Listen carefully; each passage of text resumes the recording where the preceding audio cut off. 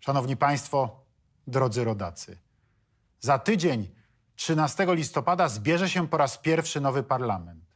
Zaprzysiężeni zostaną wówczas posłowie i senatorowie. Wybrane zostaną także nowe władze Sejmu i Senatu. To niezwykle ważny i uroczysty dzień dla naszej demokracji.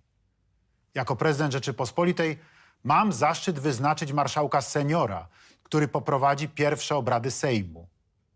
Zdecydowałem o powierzeniu tej ważnej i prestiżowej funkcji panu posłowi Markowi Sawickiemu z Polskiego Stronnictwa Ludowego, który został wybrany z listy Komitetu Wyborczego Trzecia Droga. Pan Marek Sawicki ma najdłuższy staż poselski.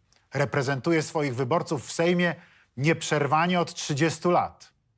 Jako poseł, ale także minister rolnictwa dał się poznać jako człowiek dialogu i współpracy.